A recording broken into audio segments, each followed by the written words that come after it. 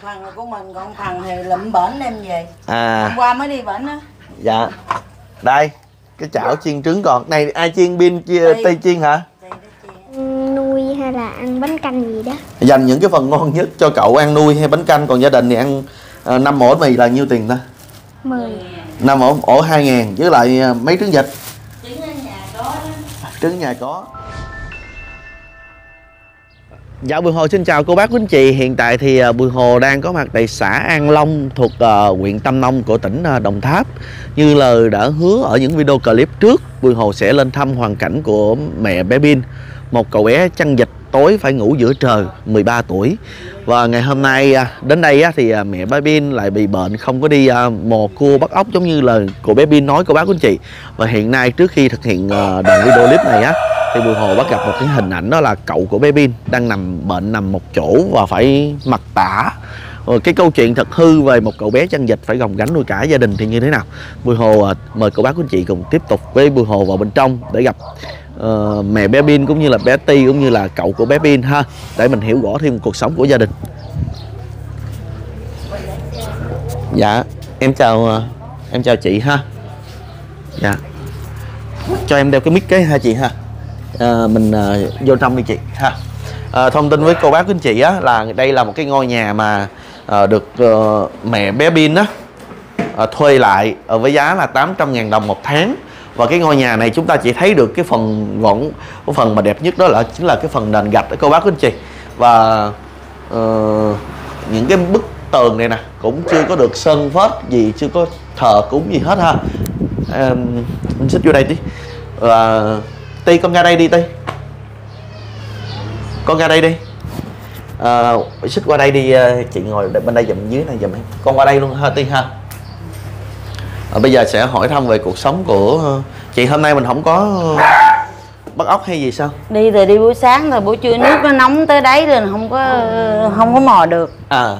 Chỉ có buổi sáng sáng cho ông này ông ăn rồi cho ông ăn thay tả rồi xong cái mình đi tới trưa cái là mình về chứ trời nắng này nó nóng tới đấy luôn không có bắt được. Sáng nay là mình có đi bắt không? Hồi sáng này chị không có đi sáng nay bị bệnh bị Đi xích qua đây tháo dí không? À dạ dạ. Mình nè sáng nay mình ăn với gì? Sáng này thì ờ, mua mấy ờ, mua bánh mì không á. Nhà có trứng vịt đó cái mình chiên ăn. Ừ. không có nấu cơm. Chiều mới nấu. Bánh mì hả bánh mì ăn với trứng vịt hả? Đúng rồi. Là sao em không mình hiểu? chiên trứng á À. bỏ vô xịt nước tương vô ăn. Chứ mình không ăn cơm. Tại vì sáng này chị mệt quá chị không ăn. Ừ. nổi. Sáng bị tào tháo dí. Ờ. Đây là anh của chị. Anh thứ mấy? Anh ruột của chị thứ kế chị thứ ba. Thứ ba. Anh tên gì? Tên sang. Anh sang hả? Ừ. sang. Anh sang có gia đình không ông không có gia đình không có vợ con gì hết trơn á. Ừ. rồi ông bị tai biến ờ, một thời gian lâu rồi bây giờ ông mới té ông hổm ông ta năm trước á năm rồi á là ông té ờ, sát máy xong á. Rồi cái đầu gãy xương khớp háng này nè. Rồi xong mà chị đem mới đem về đây. Không có gia đình luôn hay là không có rồi chia không tay? có gia đình. Trước đây là khi mà chị sống với chồng mình là là Là- anh, anh sang này sao? ở ở với bà già. Ở với mẹ mẹ bà chị bị còn? tai biến. Không mẹ chị mới mắc được mấy tháng nè. Ờ mới mắc mấy tháng rồi xong rồi giờ tới ổng nữa nè. Vậy hả? Ừ. rồi là chị cứ nuôi anh mình suốt. Mà, Thì- mình có mấy anh em? có bốn người nhưng mà bà chị hai ở ngoài la ngà cũng mắc rồi. Mắc được mấy năm rồi. Này thứ ba. Này thứ ba rồi mới tới chị. Rồi có một đứa em út nữa mà nó không có được bình thường rồi thôi. Ôi trời. Kệ nó đi. Ờ, bế tắc thật sự ha. Ngôi nhà này là mình thuê 800 ngàn tháng. Đúng rồi nhà hả? này người ta dư người ta không có ở rồi người ta để cho mình thuê. Ừ. Ờ, chị có coi được cái đoạn clip mình đăng lên mạng không? Có. Hả. người ta nói là tại sao là để cho bé pin ờ, à, nhiều khi cái người ta cũng nói sao mà ờ, bà đó bà mập mà bà không đi làm nuôi con này cái đó anh nhìn thấy giờ đi làm cái gì giờ đây? Hừng sáng là phải lo cho ổng ăn uống rồi xong mà tả tung rồi xong cái mình mới đi mò đừng thời gian tới trưa là phải về. Ừ. chiều cái là tranh thủ nữa rồi. Lo cái ăn thay tả thay đồ nữa nè. Chứ đâu có ở không được. Vậy hả? Đó đi chạy đi gì chứ đi về phải lo cho ổng ăn nè. Đó ổng đâu có ngồi được đâu. Ừ. ông cũng đâu có xúc ăn được. Ừ. chỉ có ăn bánh mì với bánh bao thì tự xé ra được. Ông bị tai biến mà. Bây giờ là một mình chị phải nuôi anh mình đúng rồi chị nuôi hết á chị lo đó tả rồi đủ thứ đó rồi ờ, ngoài việc ngồi cua bắt ốc thì thêm tiền của biên chăn vịt nữa đúng rồi thì sống. đó thì mỗi tháng thu nhập của tổng của gia đình mình mình có ước thì tính pin nó bao- mới đi chăn dịch được ờ, đây được một tháng thôi à, trước đây thì hai mẹ con là đi mấy mẹ ờ, con đi ờ, mò. như là đi bắt ốc bắt hến như tỷ như bình thường thì pin nó vô trong trường Long Bình Tăng này nè nó sáng nó vô trong đó nó lụm bao hai bao dây chai gì ở trong trường người ta cho nó vô á Ừ. rồi nó lụm đem gì cứ để đó để dành đó. Rồi Sao- cái đầu bán rồi cái đầu chị ốc bắt hến rồi để dành đó.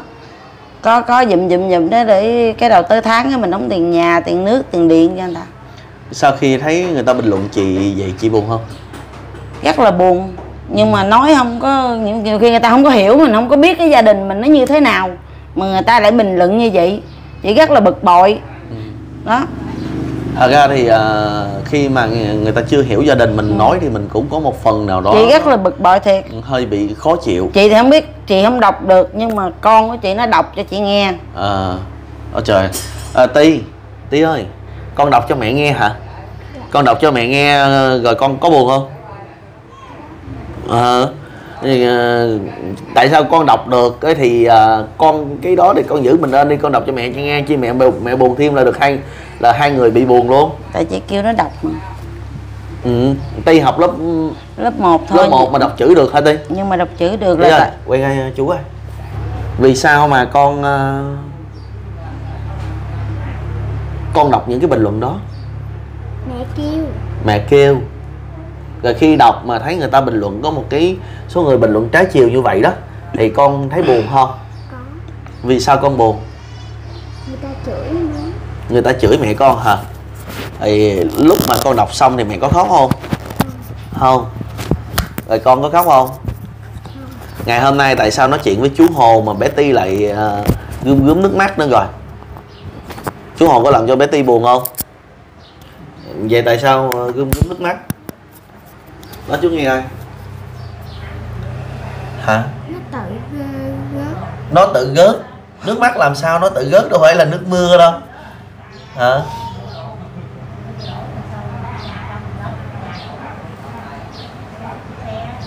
Tì Vì có sao nó đâu bình nói cho chú Hồng nghe với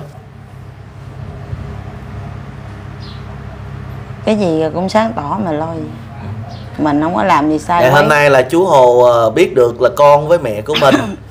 Đọc được cái bình luận đó buồn nên chú Hồ đến đây để mà cho mọi người hiểu được rằng á nhà của bé Ti khổ lắm Ừ, thậm chí là để có được những cái bữa cơm á là nhà bé Ti phải chạy chạy lại khắp nơi à. Chứ đâu phải là nhà bé Ti sung sướng gì đâu. Thấy ờ, anh của mình đi chăn dịch bé Ti tuổi đúng không? Tuổi không? Tuổi sao nói cho chú Hồ nghe với. Anh phải dầm nắng. Hả? Anh phải ở ngoài nắng. Anh phải ở ngoài nắng.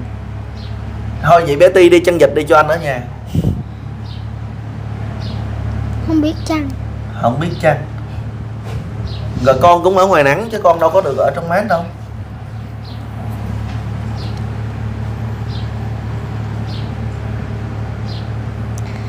Ở trong đó nó có bóng cây mát. Còn anh của mình thì sao? Núp trong bóng cây. Con có nghĩ được cái cảm giác mà anh của mình tối phải ngủ ở ngoài trời không? Có.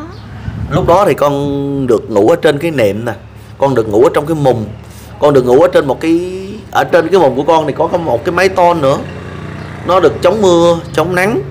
Có khi bao bao giờ con nghĩ là nếu như mà mưa thì anh anh của mình sẽ xử lý như thế nào? Không thì lấy miếng bạc che lên á. Lấy miếng bạc che lên. Con coi được những đoạn phim của chú mà quay về anh của mình. Cái- con có khi nào con khóc không? Có. Vì sao con khóc? Buồn.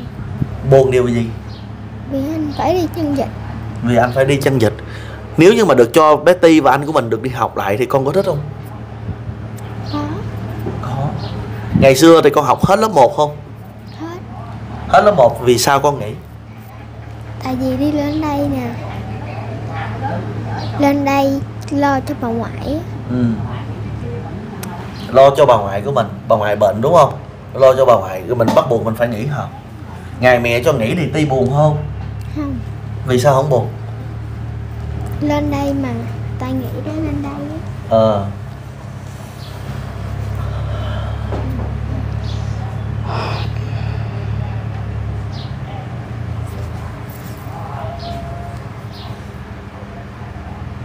Quay quay qua chú nè quay qua chú nè. Con có muốn nói gì với chú không? Và nói với cộng đồng mạng không? Cứ nói thì chú sẽ giải thích tiếp cho. Không biết nói gì. Không biết nói gì hết hả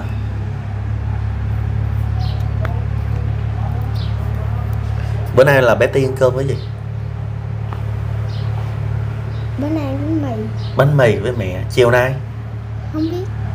Chiều nay ai nấu cơm? Con. Con nấu cơm. Tí xíu nữa bé tiên cho tham quan cái không gian bếp nhà mình được không? Dạ. Ờ, tại vì chú nghe nói là bé ti là biết nấu cơm biết giặt đồ biết lau nhà phụ mẹ nữa. Ngoài ra còn biết ra đồng để mà kiếm móc kiếm tiền với mẹ nữa. Thấy mẹ của mình vừa cực khổ mà lại nuôi cậu của mình á thì con con con thương mẹ không Ờ, đó thôi vậy thì cậu để cậu giao cho người khác nuôi ờ, được không? Không biết. Không biết hả? Ờ, chị một mình của chị nuôi hai bé thôi đã khó thì gánh việc cái nuôi anh của mình đó thì giờ chị thấy vất vả hơn không? Chứ giờ anh ruột giờ bỏ đi đâu giờ mà dục cho ai nuôi ai chấp nhận ai lãnh đâu. Ừ. đúng không? Ừ. Thôi kệ giờ đói khác rồi có cơm ăn cơm có cháo ăn cháo đói thì đói hết. À. hả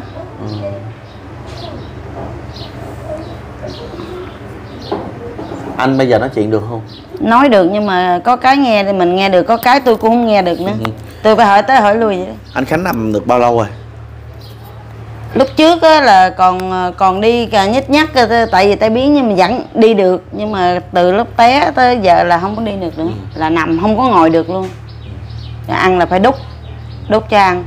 Coi như là tứ chi của anh khánh á thì sang. Đó, anh sang chứ. Tứ chi của anh sang thì gần như là bất động rồi chỉ nằm tại chỗ và khi mà bùi hồ đến đây á là phải nhờ gia đình đó mà nhờ bé ti á là phải che cái phần ở dưới lại. Tại vì à, hàng ngày cũng phải mua tả cho cho anh sang nữa nè. Một bịch tả này là bao nhiêu tiền ta? Tả này có chỗ nó bán bảy chục có chỗ bán uh, sáu mấy còn có cái loại có lúc không có cái này thì phải mua cái kia trăm mười bảy ngàn. Được mình được bao nó nhiêu? tùy theo loại 10 miếng. 10 miếng 70 là miếng Ừ. 7 ngàn. Nó nhiều loại lắm. Mỗi một ngày là mấy bịch có khi hai hai hai hai, miếng hoặc ba miếng. À hai miếng hoặc ba- một ngày là hai miếng thì khoảng 5 ngày là hết thì đó hai miếng hoặc ba miếng. Có khi ba miếng. Ờ, vậy là mình phải ờ, một cô bắt ốc để mà mua cho anh của Ừ. mình. Có nghĩa là ngoài việc ăn uống thì ngoài việc còn phải vệ sinh cá nhân cho anh của mình nè. Đúng rồi. Thay tả cho anh của mình nè. Đúng rồi. Rồi thậm chí là những cái công việc mà anh của mình không hoạt động thì mình thay Làm mẹ hết. của mình để- lo lo cho anh của mình. lo hết. Ờ, cái tấm lòng của chị ờ, cao cả ha. Ờ, thưa cô bác của anh chị á thật ra thì ờ, khi mà quay những cái đoạn clip về ờ, pin á về ti và về ờ, cuộc sống của chị ờ, chị tên nhiều anh mất tiêu rồi thế. Chị thúy á thì mọi người sẽ một phần chỉ trích như thế này tại mẹ đâu mà tại sao mà lại đẩy con ra giữa đường đời mặc dù cái tuổi còn rất trẻ. Mẹ sao không làm để mà chăm cho các con ở nhà? Rồi mẹ tại sao lại thân hình to mập vạm vỡ như vậy mà để con mình lại gầy gò? Th- thứ nhất á thể trạng của mọi người mỗi khác nhau. Đó. đôi khi mập nhiều khi bị bệnh cũng không mình cũng không không không biết được thôi cô bác anh chị. Nhưng mà với cái gương mặt á của chị và gương vì màu da của chị nó bị sạm nắng vì những ngày chị dầm xương dậy nắng thậm chí là trầm mình dưới nước để kiếm tiền để nuôi cho anh của mình. Ngày hôm nay bùi hồ có mặt ở đây. Nếu như mà không có mặt ở đây thì cô bác quý anh chị sẽ chỉ trích rất là nhiều về mẹ của Bin.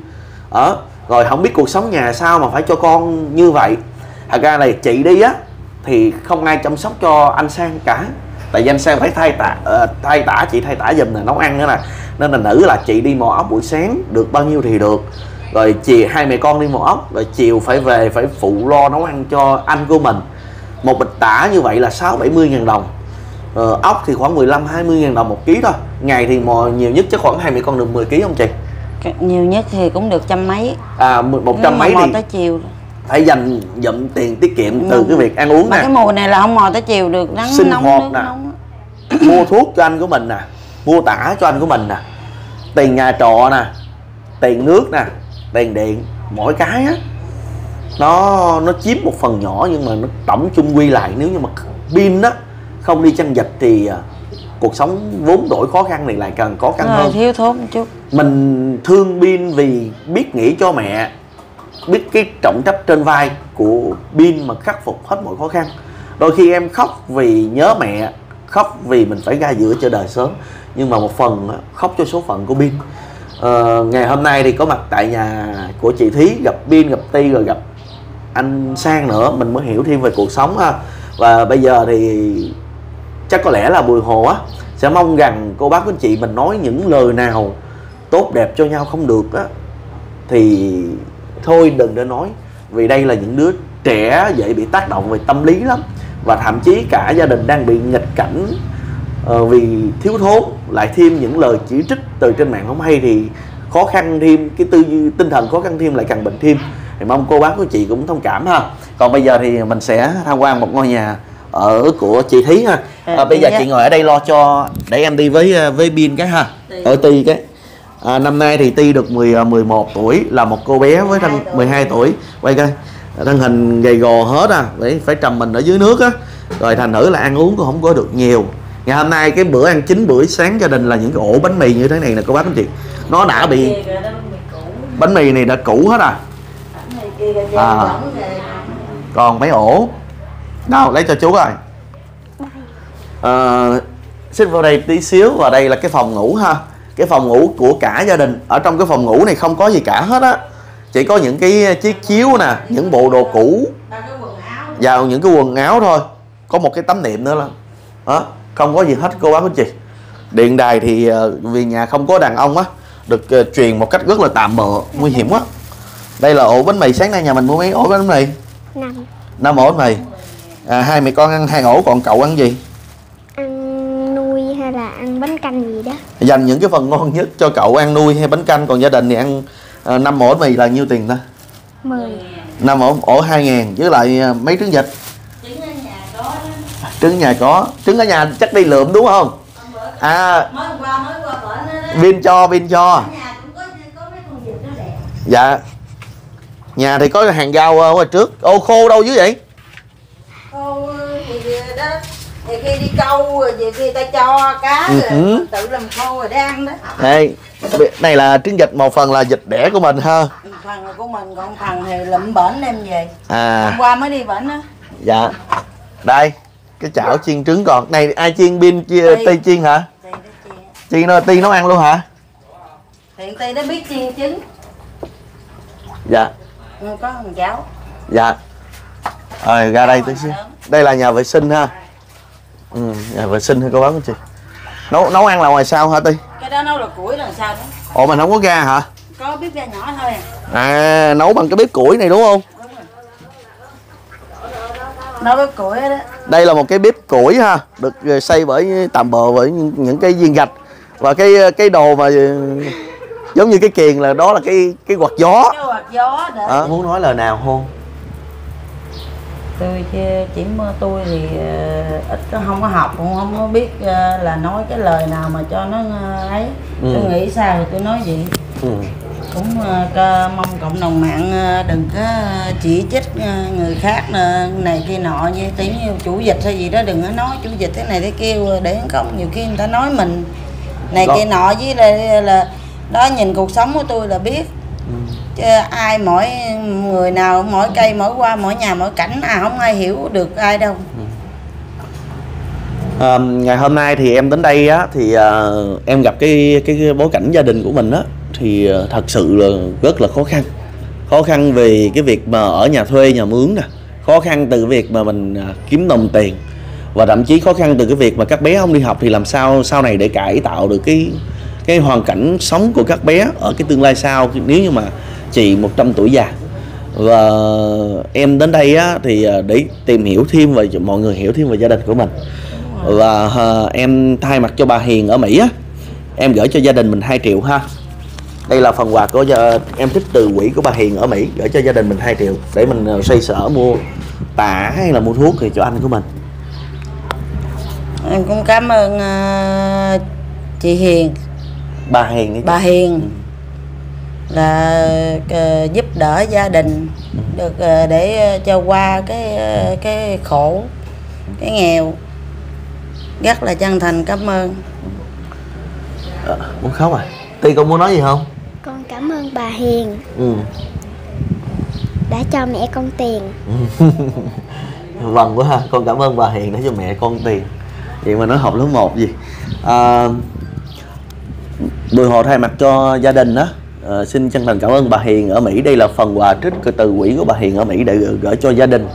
Và chắc chắn rằng là Bùi Hồ cũng sẽ quay trở lại thăm gia đình ờ, trong thời gian sớm nhất cũng như là cập nhật về cái cuộc sống của bé Bin có nhiều cô bác anh chị bình luận rằng là tại sao giúp cho mẹ bé có một cái ngôi nhà.